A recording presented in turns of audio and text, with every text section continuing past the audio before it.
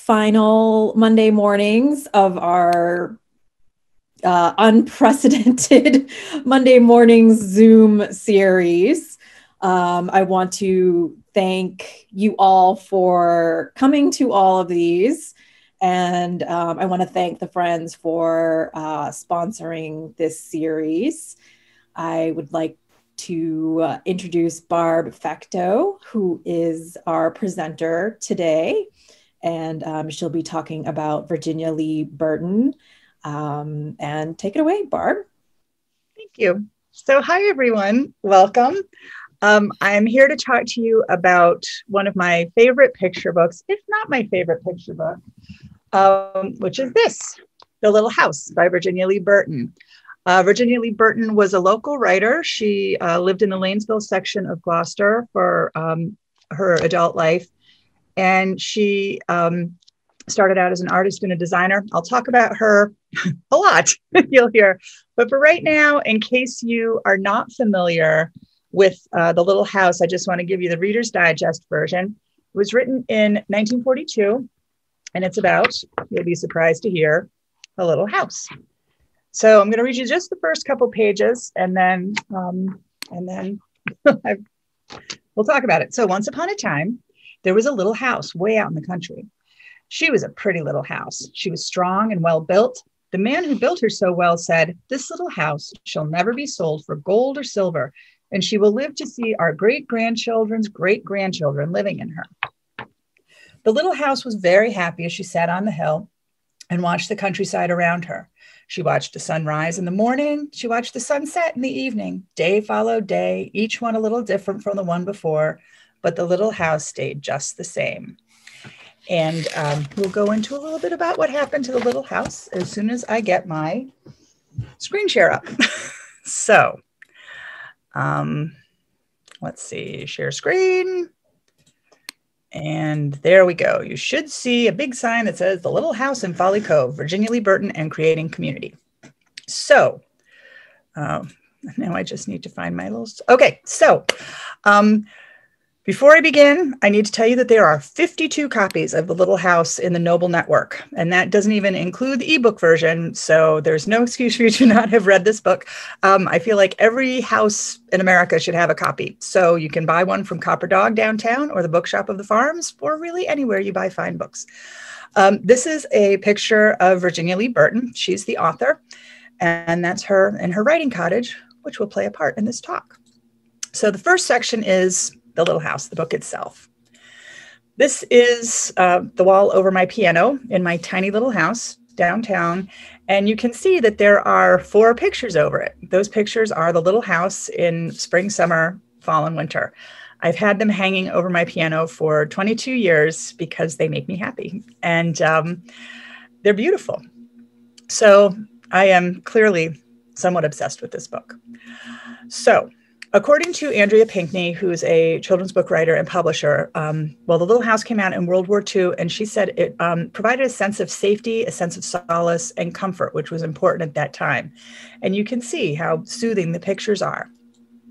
Anita Silvey, who is a educator on uh, children's books, put it this way. She she pointed out uh, Burton's design background, she said, The little house is in the same spot in every illustration, but everything around her changes so much that you don't notice that Burton has changed the focal point of her design. And you can see that this is accurate throughout the seasons. There she sits. Now, all of a sudden, things are getting weird for the little house. There's in, in Burton's design, that little circle where, where the little house is, that still remains harmonious, but there are um, more strident elements along the outside, according to Silvey. Now, what happens is a little house gets built up and there's some big buildings. I feel your pain, little house. And it gets even bigger. With her, the way that she drew, there's so much movement around. Oh, look how sad she is. She's sad and lonely. Um, Lee Kingman, who was um, Burton's editor, said nothing is static in her books. There's dance on the page, and you definitely get that feeling of movement. And here's some more movement. What's happened is the great great granddaughter of the man who built the little house saw the house in the city, said, Hey, wait a minute, I know that house. And she proceeded to move it. Now, this is a screenshot that I took. I like the way that it is sort of has the two pieces in it. And this is from the movie um, Virginia Lee Burton, A Sense of Place, of which there are eight copies in Noble. You should check that out too. And that was made by a local filmmaker. And it's I, I use that also um, as a, a big source for this talk. So um, as far as the sort of philosophy behind the little house susan etheridge a smith college um, professor of children's literature says the little house is possibly the first sociology text for children. It's rachel carson for children. It deals with the initial uh, initial displacement as a theme and finding a new place in a world that's changing. Martha oaks who's a curator at the cape ann museum put it beautifully i think. She said quote it's a story about honoring the past, respecting the built world, and at the same time, the natural world. It's a story about the importance of living in harmony with nature and the restorative powers of peacefulness and beauty. It's also a story about second chances and the importance of family, home, and legacy, and about remaining useful and productive. And that is so much of what Virginia Lee Burton's life uh, was about she very much um, was a homebody. This is a picture from her her last book, which was uh, Life Story, and that's her home right there. It's um, in Folly Cove. This is an actual picture of it, another screenshot from A Sense of Place, and this house inspired the little house in that. Um, when she and her husband first bought the house, it was right up on 127, and they had two small children, and so they decided to move it. And they pushed it back uh, further into their property. You can see right here, um, this is the gate. The house still stands. It's still, um, people still live in it. As a matter of fact, I went there a few weeks ago to try to take a picture and kind of freaked out the new uh, owners. It was a mild case of trespassing.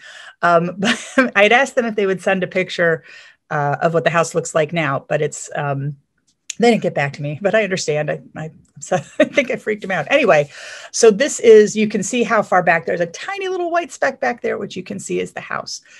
Um, there are uh, many ways in which the little house uh, has been put out, or several ways that it's been put out in other uh, formats. These are two of them. Well, the first, the one over to the right, is um, an early drawing for the little house, and that was this is an angle that Burton didn't use in the in the book itself. She firmed it up very much.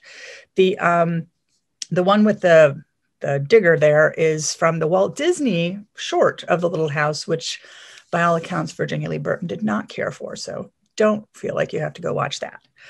Um, in 1954, the book was translated into Japanese by Momoko Ishii, and Burton traveled to Japan 10 years later, invited by the American Cultural Center in Tokyo, and Momoko Ishii um, hosted her there.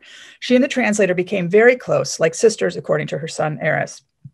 Um, to celebrate the 75th anniversary, Gallery A Quad um, in Tokyo created a beautiful collection of her work, including an incredibly detailed 3D version of the little house itself. And there I am.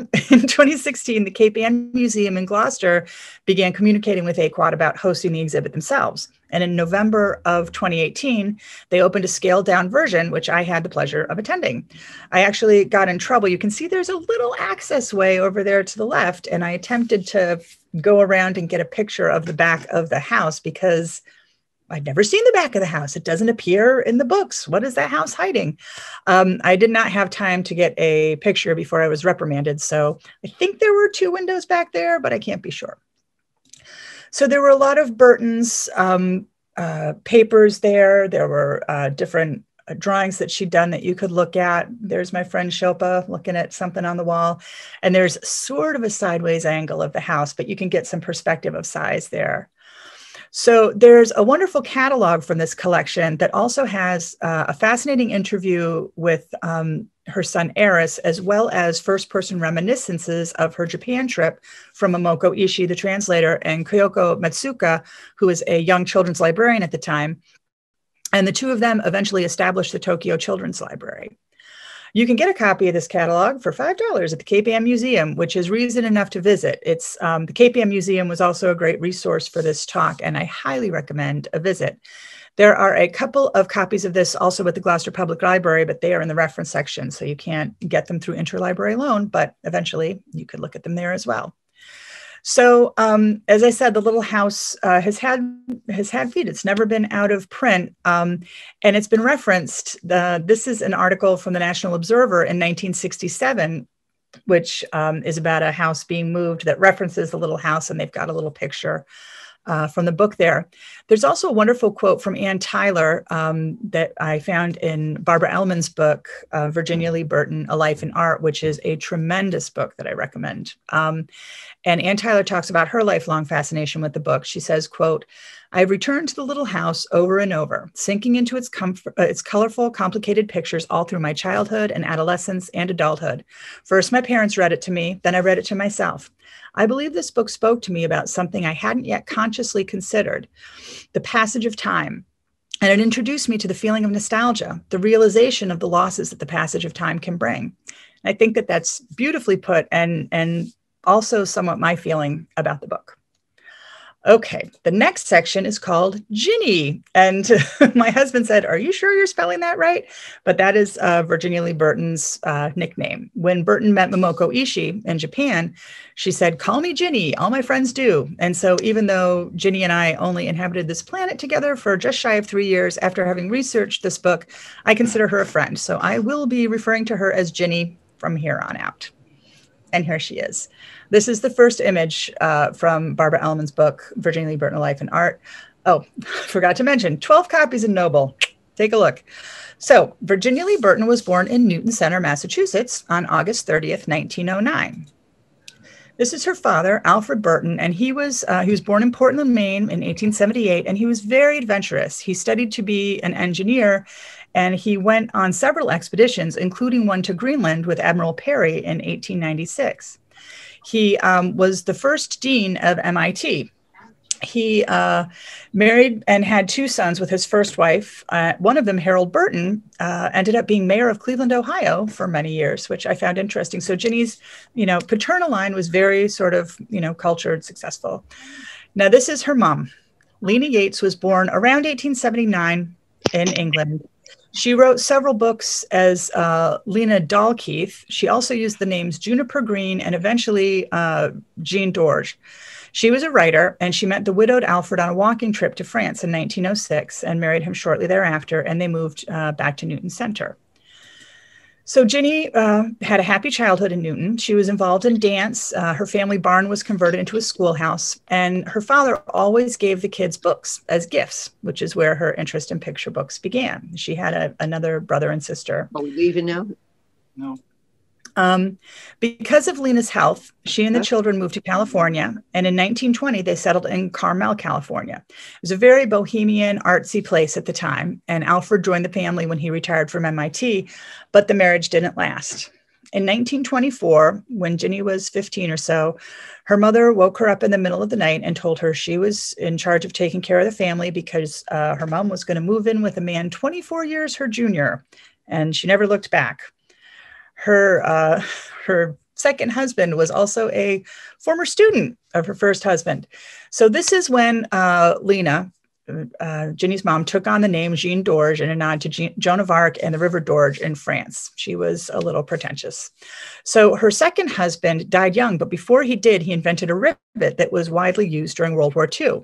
So while they were together, they were quite poor. But after his death, uh, Lena became quite wealthy. She became a patroness of the arts, in addition to continuing to continuing her own artistic pursuits. She refused to sell her paintings. This is a this is one of them. Um, she she said, "I'm just a paintbrush for God." Okay, she was completely pretentious. Um, but that break with her mother definitely impacted Ginny. So at the time, you know, uh, her father felt unable to care for the children, and so they were sent to live with different families. Ginny uh, was fostered out during her high school years, and although she was deserted by her mother, she was never bitter about it.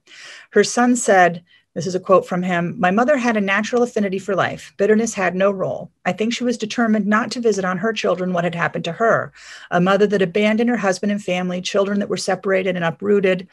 So, no record seems to exist as to who she lived with, but she was involved in her high school. She was editor of the yearbook at Sonora High School, and she continued with studying dance and art she wanted to go to college. So when she graduated, uh, she went to San Francisco to continue uh, studying dance.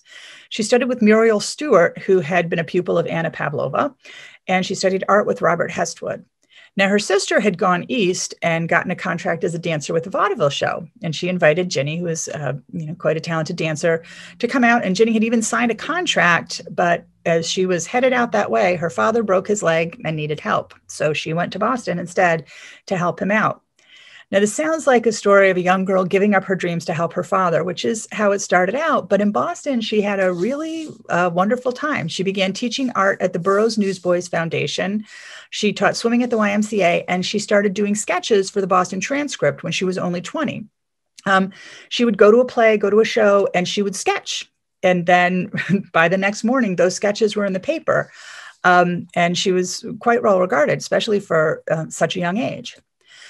She started taking sculpture and drawing classes from George Demetrios in the fall of 1930. George Demetrios will play a large role. He um, he emigrated to the United States from Greece in 1911 when he was 15 years old, and he worked as a shoe shine boy. And he would sketch between customers. Well, he was spotted by an illustrator and painter, John Hybers, who was really impressed by his talent and got him a scholarship to the School of the Museum of Fine Arts in Boston. After that, he went to Paris and studied at, at the École des Beaux-Arts and at the Sorbonne. And he, while traveling in France, he saw the cave paintings and he became convinced that drawing from life was the best way to capture the realism he wanted to convey in his work. That's according to Elleman. So this is a picture of him um, by Hybers, who uh, discovered him. So that was when he was quite young. So Charles Grafly was his mentor. Here's a picture of Charles Grafly in a fountain that he designed for the Pan American uh, expedition exposition in Buffalo in 1901. Um, Grafly is important because he uh, was a mentor of George, and when he passed away, he left George a, his studio in Folly Cove in the Lanesville section of Gloucester, and that's where George uh, had the summer classes for his school, the George Demetrios School of of Drawing and Sculpture, which he opened in 1927. So this is where he met Ginny in, in the fall of 1930, and they were married by March. they lived in Lincoln, Mass for a little while, and that's where their um, first son was born. So, according to Elleman, the strength that they drew individually and together from the natural beauty of the area and their mutual belief in the inherent artistic ability of all individuals inspired the enthusiasm and devotion of countless pupils. And according to Harold Ball, who was the former president of the Cape Ann Museum, this is a quote When things were rough on Cape Ann, the Demetriuses gave a lot of people a lot of pleasure and helped them find something of the pleasure of life inside themselves. This is a huge, a huge philosophy in Ginny's entire life um, of making community, of finding uh, things inside you that, that everyone has access to. So this is her older son, Aris, and he's in front of the house. This is from um, uh, the film A Sense of Place. He says, quote, she gave me a foundation of trust and joy upon which I based my life. To others, she's given the legacy of possibility and love and concern about what's around you and to make the best of whatever that may be. She could find wonder in just about everything, which ugh, that my kids would say that about me someday. Um, so she had two sons, uh, Aris and Mike. These are them. Uh, Aris is in the cap, and then little Mike is the one in the overalls and they uh, both uh, grew up and moved to California. Aris is currently still a sculptor. Uh, Mike passed away a few years ago, but he worked in entertainment and he built theme parks, which I think is a wonderful thing to do. Here's a couple more family pictures uh, Ginny with the boys, and then a more formal picture with she and George, and that's uh, his nephew Costa, uh, who spent a lot of time with the family and the two of them. So Ginny's life was defined by a harmony between work and leisure. Um, she often combined both. They gardened, they they had animals, they had this. So the cake there is a replica of their house. She would have been awesome at Pinterest. That's uh, Mike's birthday cake. Um, there was always music in the house. Ginny still danced. She studied dance and taught dance uh, you know, at different times in her life. Now, notice that granite picnic table. It was made from local granite that was uh, rejected by its intended buyer because it had a little dark spot. But Ginny loved it because she said it's the perfect table. You never need a cloth, and when you want to wash the table, all you have to do is turn a hose on it. So thanks to Google Maps, I found that that table, you can see it down in the lower right corner. It's still there, visible from space. Well, not space, but certainly from Google Earth. Um, they again, they they had animals. They uh, this picture is actually the dedication page the, of the boys and the, the goat and the dog. That's from uh, Barbara Elleman's book, and I'm not sure if Ginny drew that. I couldn't find a notation either way, but I thought it was interesting that you know goats throughout. This is a picture from her final book, Life Story. You can even see those little tiny goats back there by the house. And if you notice, um, over to the left of the house, there's a tree with two swings on it. That tree is in so much of Ginny's work. It appears in the little house. These are some pictures uh, of hers that are at the Cape Ann Museum. You can see it there. You can see it um, on the screen and this other um, picture with the swings. Very consistently, uh, it appears. So it's uh, the kids are born, they're in Folly Cove, and the depression hits. And there's um, a couple of different ideas. Some sources say that Ginny began writing for children as a creative outlet combining art, design, and storytelling as an outgrowth of spending so much time with her children. But also, it was the heart of the Depression and money was tight. Whatever the case, she uh, wrote her first book. It was called Jennifer Lint, and it was about a piece of dust. In her autobiographical sketch for Houghton Mifflin, which was her publisher throughout her career, she said, I and my friends thought it was very clever, but 13 publishers disagreed with us. And when I finally got the manuscript back and read it to Aris, age three and a half, he went to sleep before I could even finish it. That taught me a lesson. And from then on, I worked with and for my audience, my own children. I would tell them a story over and over, watching their reaction and adjusting to their interest or lack of interest. The same with the drawings. Children are very frank critics. So even though Jennifer Lint did not uh, get picked up, someone at Houghton Mifflin saw it, and she was hired in 1937 to illustrate the book Sad Faced Boy, which was by Harlem Renaissance writer Arna Bontemps. And she did that very quickly and very well. And shortly thereafter, her first book was published. Um, it was called Choo Choo, and it was her first book as both a writer and an illustrator. It also came out in 1937, and it's dedicated to Aris, her older son. And it was inspired by watching the engines at the Rockport station with her boys. It was also the first in her theme of um, anthropomorphized machinery uh, that's sort of in a world that's kind of passing them by a little. Now, certainly you're going to recognize this one. This is Mike Mulligan, which is likely her most popular book, at least in the minds of children. Um, it was published in 1939, and it's the story of Mary Ann, a steam shovel who's considered old fashioned, and Mike Mulligan, who operates her. You probably know the story. It ends beautifully. Mary Ann proves her proves her worth. Um, it was also a community effort. Many of the characters in here were modeled off of local citizens uh, from the surrounding area. Uh, Ginny's ideas of usefulness and community that were so prevalent in her life are illustrated here. And this one was dedicated to her Mike. And that picture looks just like just like him. Uh, her next book was Calico the Wonder Horse. Now, she wrote this as a response to her older son's love affair with comics, funnies, radio programs. She did not approve of comics from a design perspective. She wanted to make a good comic in the form of this book. It was originally published under the name Calico, the Saga of Stewie Slinker. She'd wanted to call it Stinker, but the publisher thought that was undignified. But when it was republished later, they gave her her Stinker back. So you can, it's under uh, two different names. Um, according to Elleman, this 1941 Western is her one book that deviates from her major theme of usefulness. Then she wrote a little, she did some illustrations for other people. She did uh, Fast Sooner Hound, another book by Arna Bontemps, and then Don Coyote by Leigh Peck.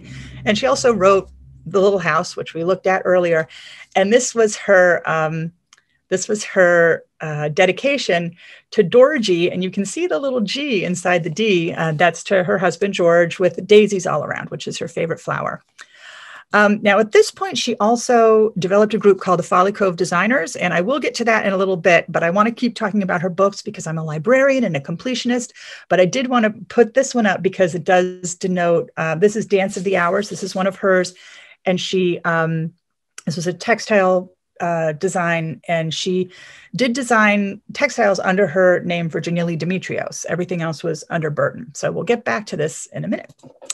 So Katie and the Big Snow. This was this was number one with a bullet at my house because my little sister's name was Katie. In 1943, uh, she published Katie and the Big Snow, which set uh, which, which was set firmly in her philosophy of comfort in the endurance and reliability of the tried and true, according to Elleman. Um, Katie was a a uh, plow that did her job, basically. Um, I was really interested in all the dedications to her books. And this one um, I finally found in the Quad 4 catalog. The dedication, it's to John from Ginny. And the John in this apparently is the um, someone from the Department of Road Management in the city of Gloucester. Now you'll see there's a there's a map from the book over in the upper right, and that map is very similar to the map here on the Gloucester Harbor Walk. Geoppolis, which was the town that Katie cleaned up, is is Gloucester in the book, and Gloucester's pretty darn proud of it. There's a um, there's in the in the um, in the Harbor Walk there's a notation about Katie there. So, the Song of Robin Hood, the saga of the Song of Robin Hood began in 1941. Ginny spent two years just developing a medium and technique for the illustrations. This was when she was working with Folly Cove designers and there's very much uh, that feel to her work. Uh, she was hired to do the illustrations for Anne Malcolmson's Song of Robin Hood, and she spent four years creating individual illustrations for over 400 verses for this book. Each one of those little um, this little things was unique. Um, the book finally came out in 1947 and can surely be called Ginny's artistic tour de force, according to Maise Miyagi, who um, who appears to be Japan's answer to Barbara Elleman. She wrote that in an essay for the AQuad exhibit catalog. And once again, there's that tree. Now, this was kind of a departure. In 1939, she illustrated a version of The Emperor's New Clothes, and it, you know, the book is listed under Hans Christian Andersen, who wrote the story, but she did the illustrations, and they stylistically seem very different um, in in their form, but there's still that feeling of movement to the illustrations. Um, Ginny had reconciled with her mother by the 50s and would visit California. And in 1952, she published Maybelle the Cable Car, which is about, you guessed it, a cable car being pushed out by new technology. The dedication for this book, uh, she dedicated it to Friedel Klussmann, although she's referred to as Mrs. Hans Klussmann. And uh, Friedel was instrumental in saving the cable cars in San Francisco when they were considered too old fashioned in 1937. So uh, when asked what she liked best about the process, Ginny said, quote, research mainly. I love research because I have so much fun doing it. By the time I was satisfied with my sketches, I could operate a cable car. Children have an avid appetite for knowledge. They like to learn, provided that the subject matter is presented to them in an entertaining way, which I wholeheartedly uh, agree with. So her last book was called Life Story. It was eight years in the making. It told the story of our planet she did much of her research in geology, paleontology, paleobiology, and archaeology at the Museum of Natural History in New York. And she set the stage and gave the history of the world and then gradually narrowed her focus to the history of her home. And you can see in that picture, um, she's over there in the front left corner painting, painting her house. Um, so she tested her stories on kids, and she was very fond of children, uh, very warm. And uh, one of her boys said, uh, as my mother wrote Mike Mulligan, she read portions to me, my brother, and a handful of other neighborhood children to test it out. If we started to fidget around, she'd say, It's back to the drawing board. She knew she had the right text when the kids were attentive until the end. So, this is Lee Kingman Natti. Um, Lee was her editor uh, at, at um, Houghton Mifflin. And when she came to Lanesville to work with Ginny on Katie and the Big Snow, she was so captivated that she never left. she married a local boy, Robert Natti. Um, and during World War II, when he was away, they had an epistolary romance, which is my favorite kind. And she uh, ended up becoming a very prolific producer in the Folly Cove Design Group. She also, and I did not know this until I began researching this, uh, she wrote one of my favorite books from when I was a teenager, Break a Leg Betsy Maybe, which um, uh, Lee uh, passed away this spring. And I was very sorry to hear that. I would have liked to have had a talk to her, but she and Ginny were very close friends, and she was one of the Folly Cove designers. So, the Folly Cove designers, um, there's an article from Atlas Obscura, The Unlikely Story of the Folly Cove Guild, uh, and there's a quote from it that I love. It said, Thus began the Folly Cove Designers, a ragtag group of locals united by their desire to fill their lives and their minds with a particular form of well thought out beauty. So this is a is a um, one of the uh, hand-drawn invitation to their first opening. Um, you can see the barn there. That was a barn that um, was right down the street from the Demetrioses. There's a group of the designers in front.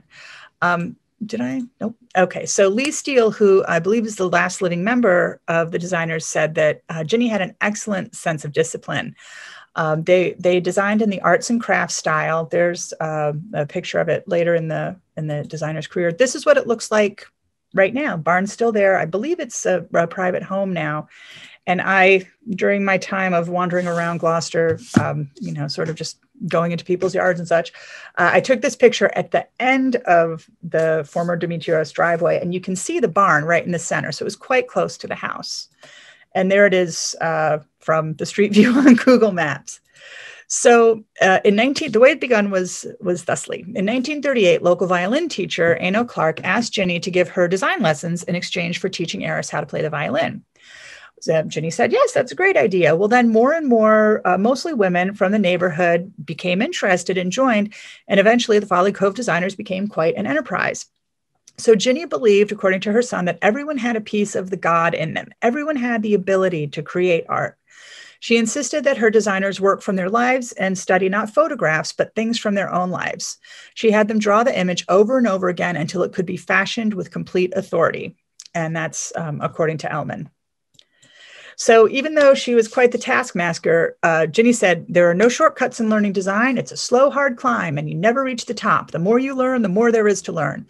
Uh, nonetheless, she created this uh, diploma for the Folly Cove designers that illustrated their process and rewarded their hard work. And you can see the print and the, the um, table that it was made from at the, um, at the uh, good Lord, Cape Ann Museum.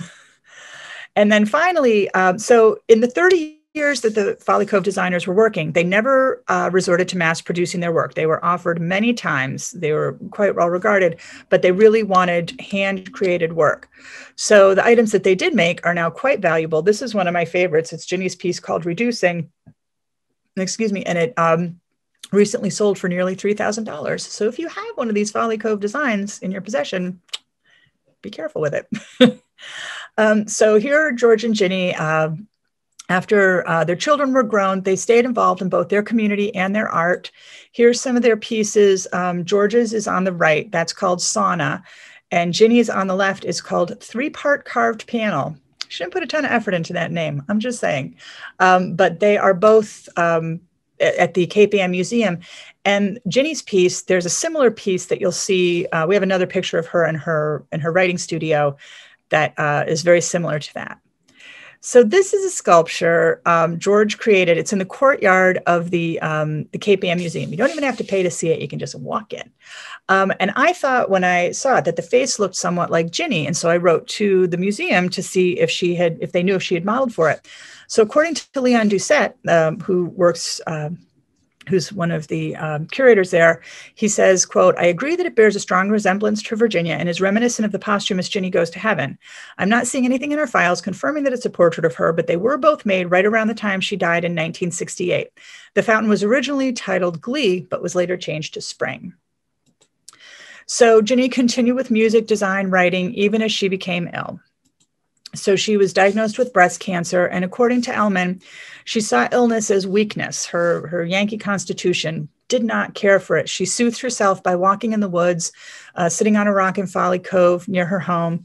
She died on October 15th, 1968, and her ashes were spread around the acreage of her home. So, this is a statue that George created. It's called Ginny Goes to Heaven, and it's beautiful. It's just her throwing her arms back and just and going. Um, so I, Barbara Elleman, whose book I have talked about about a thousand times in this talk, um, I had wanted to write to her, and then I was looking for information on the internet, and I found her phone number and thought, what the heck? so I called her, and she was lovely, and we chatted for like 20 minutes, and she told me that when she was researching this book, she and her husband um, went out to California to visit with Aris, and he had the statue in his basement and he said, you know, this should really be outside. And so Barbara's husband helped Aris carry the statue outside. And I thought, I want to make a clever metaphor about her husband carrying the statue out and Barbara's work, uh, Barbara's work bringing Ginny's work to light. But I was overwhelmed by the inability to do the metaphor. But I just thought that it was really, um, you know, a wonderful picture and really spoke to Ginny's joy at life, even at the end. All right, the last section is called community, how Ginny's sort of um, how her work in life had gone on beyond her passing. So before I get into that, these two guys, these are my nephews. There's Johnny and Drew. These are old pictures. They're, you know, grownish now, but it's my theory that 35 years after I pass, they are going to be thinking like, who Barb, Barb, who's that loud woman that used to come at Thanksgiving? They are not going to be keeping my legacy alive. Should I have one to keep alive? This, however, this is Sandy Burton, and he's Ginny's nephew. She was his godmother, his aunt. He considered her a second mother. He said that she um, was a huge driving force in his young life, and he looked at both her life and her books as roadmaps to teach him about the world. You'll see that sign behind him, and that is the Virginia Lee Burton Writing Cottage carrying on her legacy of reading, writing, and the arts. And it's a fascinating story. So here's Ginny in her writing college, and you can see that that um, wood carving behind her that was similar to the one at the museum. Um, so Ginny and George brought land way out at the end of Folly Cove Point in 1963, and with the year, they put up a prefab writing cottage that they got from the building center in Gloucester, and that's where she would go to work. So, in uh, in the movie A Sense of Place, Lee Natti uh, said even she, as close as, as she and Ginny were um, as friends, she never even had been in the writing cottage. That was where Ginny went for to isolate herself to work.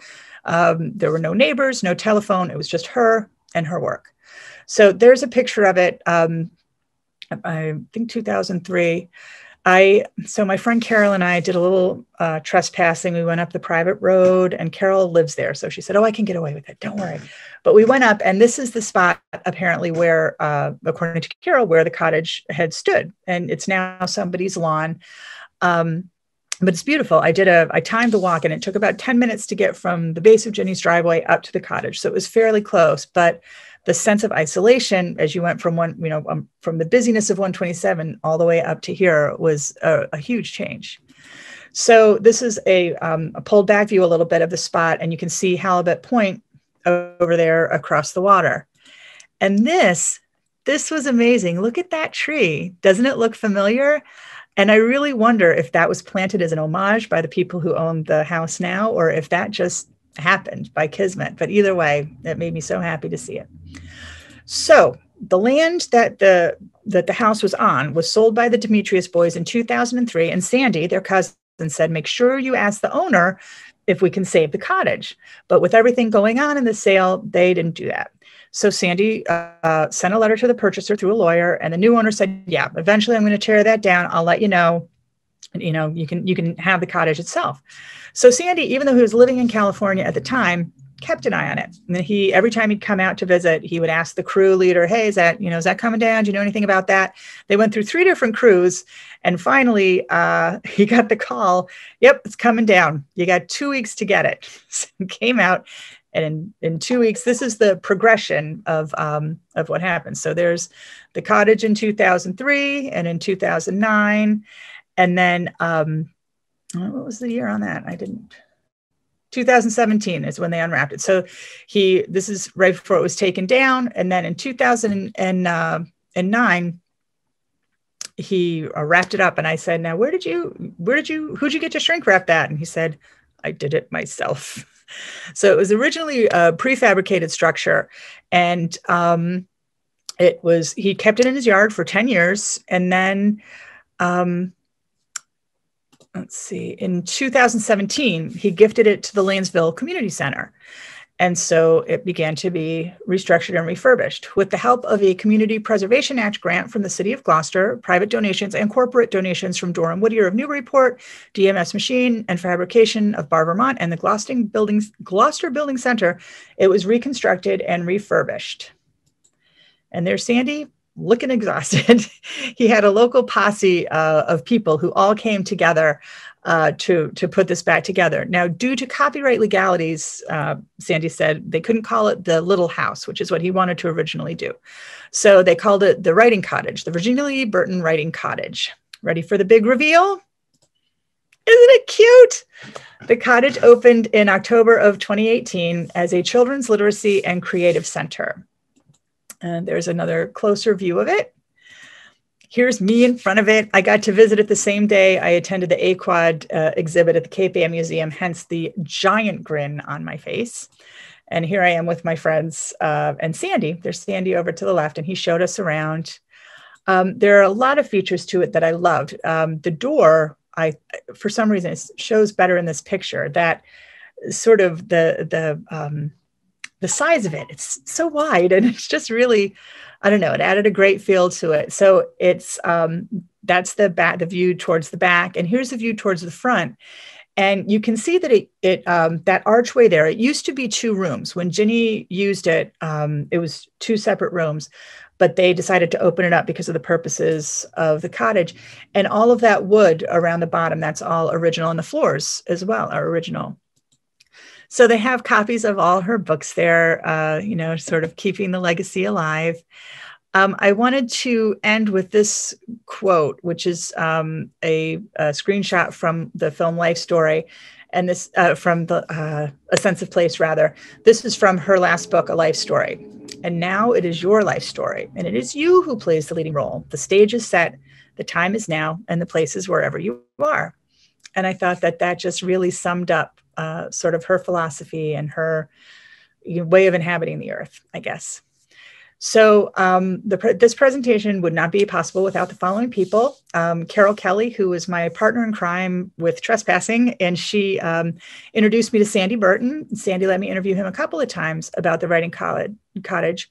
Barbara Elleman, who wrote um, A Life in Art, and Christine Lundberg, who created the film a sense of place. The Cape Ann Museum, particularly on Doucette, uh, who were very helpful with looking at things.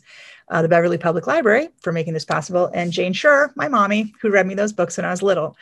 Now, um, if you want to see uh, where I got the photographs and things like that, this little uh, tiny URL will take you there. And way down at the bottom is a um, is a link that will allow you to look at the slideshow if you want. I had um, timed it hopefully to take 45 minutes, and I'm just shy of that. But I also put in a bunch of other slides um, because people had asked about the Folly Cove designers. So, in case I don't run out the clock, these are, I'm just going to run through these pictures of the Folly Cove design uh, process so that you can see them. Um, and if you want to go in more depth, there's a wonderful book that the Cape Ann Museum put out um, that you can access. So, this is the press that they used. Um, there was a quote, and I don't know from whom, but it was with a scrap of linoleum, you can make your own pretty things. Um, all of these pieces had a beginning, a middle, and an end. These are, there's Ginny's tree, that's some of her work there. Um, this is uh, George's garden, which she created. This is by, you know, Natti, um, you know, sense of movement in it. So these, you can't see a lot of details, but this is basically just a quick run through of the Folly Cove Design Room at the Cape Ann Museum, which is wonderful. And I, the Cape Ann Museum is open. You need to make a reservation, but um, it's really worth it. Not, I mean, the, the Folly Cove designer stuff alone, but there are also um, a ton of really great local paintings here's some of Ginny's work. That's the the diploma that she made.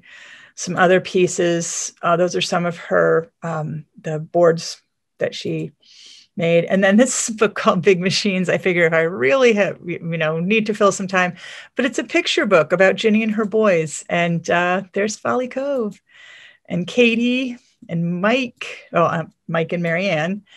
Um, the little house, and then all of them together. And uh, so that's that. Let me stop sharing this.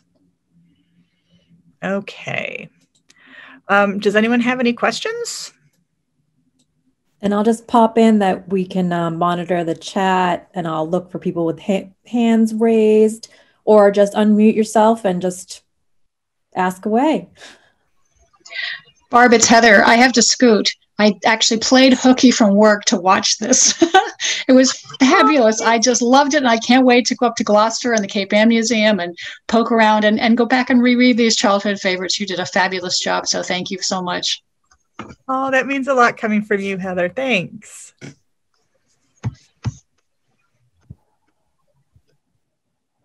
That's famous writer Heather Vogel Frederick. Barb, this is Mary Smith. I taught first grade for a lot of years here at the Cove, the Cove School and at the Edwards School. I've contacted you a couple of times about various other things. I remember last year when you talked about all of your books that you loved as a child. Uh, it was just it was great because I could feel the same way about a lot of them. Um, but I wanted to let you know that in teaching first grade, I used the little house every single year. It was one of the absolute most favorite books of mm-hmm. all of the kids. They would sit there, they would just be mesmerized with the story and watching the surroundings change from, you know, being way mm-hmm. out in the country to being so closed up in the city. And we used that book as a basis to start a whole unit on communities whereby we our goal was to figure out what communities really needed and wanted and how best to set them up. So these are six and seven year olds but you would be amazed at the kind of things that they could do.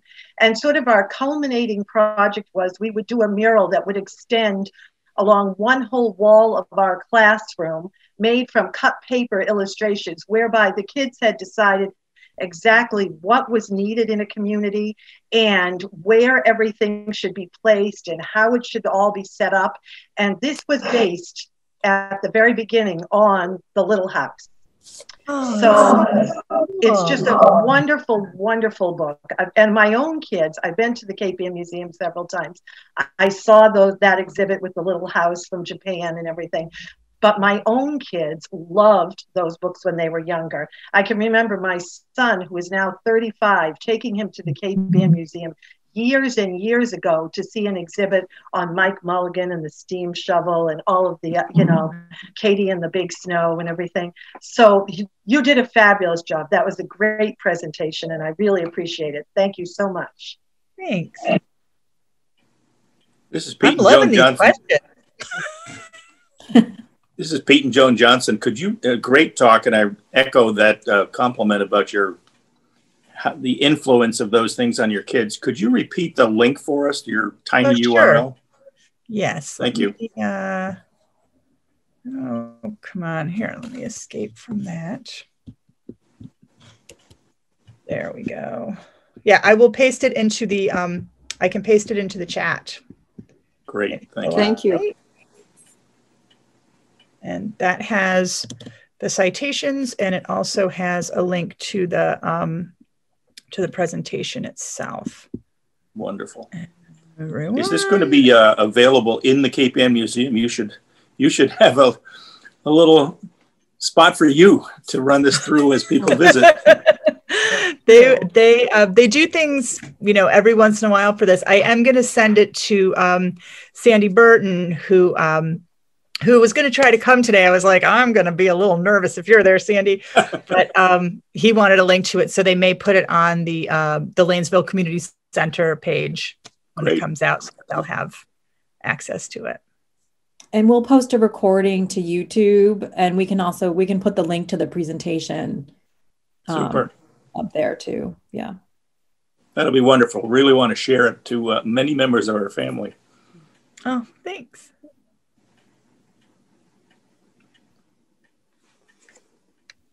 Anyone else?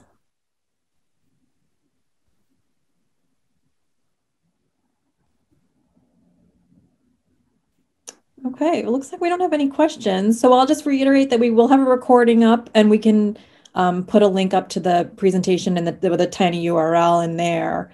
Um, and thank you everyone for coming to the Monday morning series and thank you for coming to this presentation and thank you Barb for um, the great presentation. And um, I'll see you all next season, and someday we'll see you in person. all right. Thank you. Thank you.